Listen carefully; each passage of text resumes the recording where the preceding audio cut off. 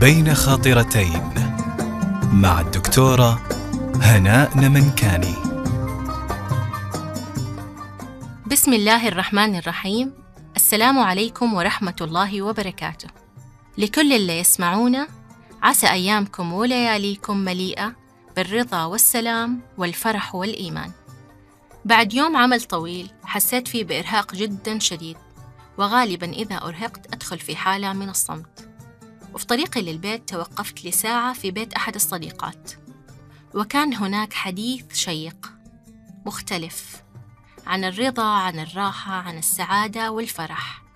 تحديدا في رمضان. حاولت أسمع بكل إنصات لكل كلمة كانت بتنقال.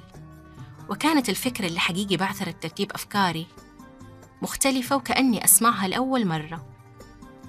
هل استعديت لرمضان بالفرح؟ أي فرح؟ ومن هنا ألهمتني هذه الساعة لحديثي معاكم اليوم في أول حلقات بين خاطرتين وبين القلب والعقل والجسد والروح كل واحد فينا جسد وعقل وقلب وروح وأول ما يفكر فينا ترى قلوبنا والقلوب هذه تحمل مشاعرنا وإيماننا وعباداتنا ولو شوية فكرنا في عباداتنا حنلاقيها تدور حول هذه المشاعر بين الحب والخوف والرجاء فهاليوم سألنا أنفسنا هل حقيقة إحنا بنحس بهذه المشاعر أو شيء منها وإحنا بنأدي العبادات؟ هل بنحس يوم ما بنصوم بشيء مثل هذا أو بالأجر والثواب اللي حناخذه من الصيام وإنه ما له حدود؟ هل بنحس إنه الله سبحانه وتعالى ذكر وأنا أجزي به لأنه جزاء جدا عظيم فما حدد؟ يوم ما بنصلي هل بنحس إنه صلاتنا هذه ممكن نستعين بيها على المصائب والابتلاءات وعلى آلامنا وأحزاننا؟ واستعينوا بالصبر والصلاة. هل بنحس وإحنا بنتصدق إنه هذه الصدقة يوم القيامة حتجينا كغيمة تظللنا هل شعرنا بالطمأنينة وإحنا بننفق على أولادنا وعلى أهلنا أو نتصدق على المحتاجين إنه يا ابن آدم أنفق أنفق عليك. هل حسينا وإحنا بنتعامل مع الآخرين سواء ساعدناهم سعينا في حاجاتهم؟ أو حتى لو أحد أذانا عفينا عنه أو سامحناه؟ أو على الأقل ما ردينا على الإساءة بإساءة. بالأجر العظيم اللي ممكن ناخذه. مرات شعورنا بهذه المشاعر والأحاسيس في قلوبنا خاصة مع العبادات نبغاه بس يكون صعب علينا؟ لأنه أغلبنا إلا من رحم ربي غرق في متاهات الأمور المادية ورذم الحياة المتسارع اللي إحنا عايشين فيه. لكن تعرفوا أسهل طريق يخليكم تستشعروا معنى آخر للعبادات مهما كان حالكم وإن قلت وإن زادت عباداتكم ومهما كان وضعكم معرفتكم باللي بتعبدوه. لا تفوتوا فرصة رمضان إنكم تتعرفوا على أسماء الله سبحانه وتعالى وصفاته لأنه دائما التجارة مع الله رابحة. لو بس اليوم سمعتي حاجة أو فتحت كتاب أو قرأت عن اسم من أسماء الله حتلاقي الخير. لأن الله سبحانه وتعالى وعدنا ومن تقرب إلي شبرا تقربت إليه باعا ومن أتاني ماشيا أتيته مهرولا.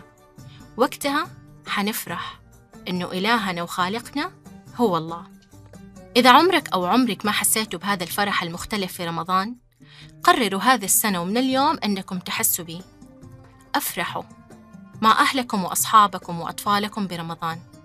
أفرحوا بيا باغي الخير أقبل. وكونوا منهم وابغوا الخير. كل يوم لما تصحوا من النوم حاولوا تقولوا إنه إحنا نبغى نصوم صيامنا كويس. نبغى نصوم إيمانا واحتسابا. نبغى نحسن أخلاقنا. نبغى نقرأ قرآن ونبغى نقوم في الليل.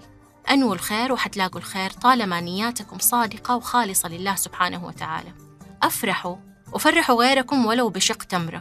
وأفرحوا أنه شق التمرة هذه يعتبر من الإنفاق في سبيل الله والله يضاعف لمن يشاء.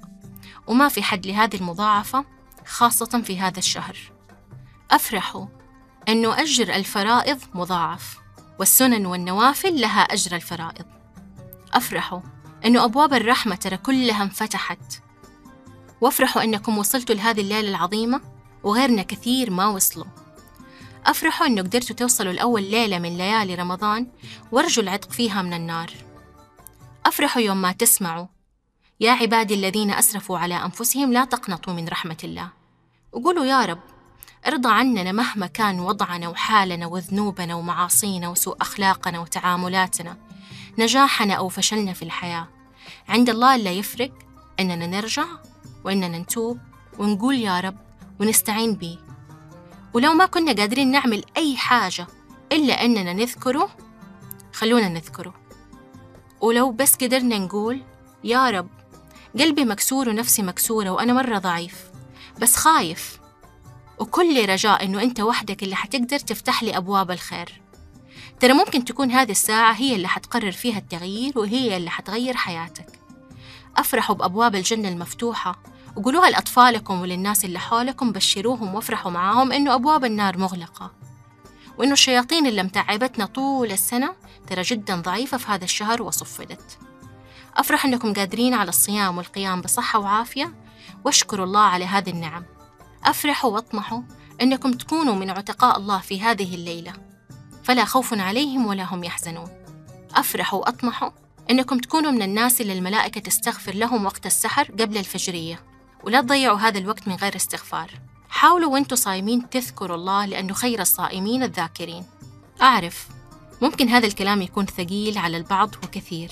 لكن حقيقي إذا في كل شهر ممكن تزهدوا لا تزهدوا في هذا الشهر عن الأجور. ممكن نقول كلها 30 يوم. نبدأ بنية صادقة.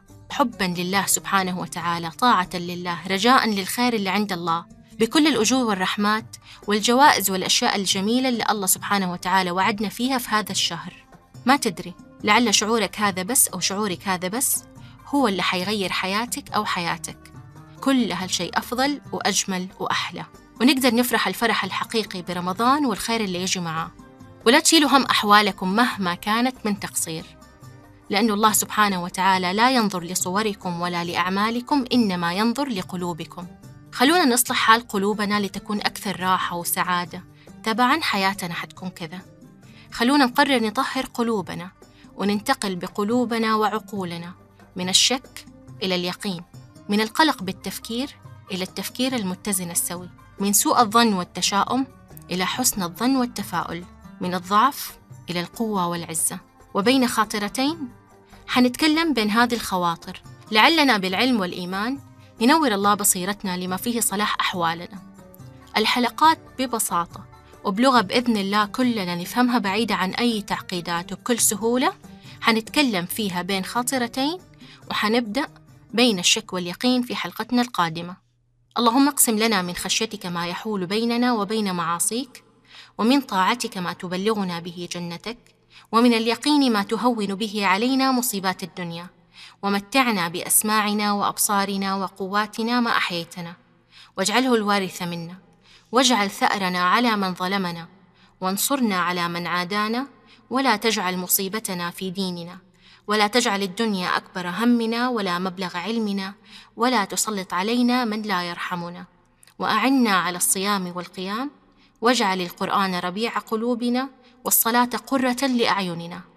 اللهم صل وسلم وبارك على سيدنا محمد. كنت معاكم هناء نمنكاني في أمان الله.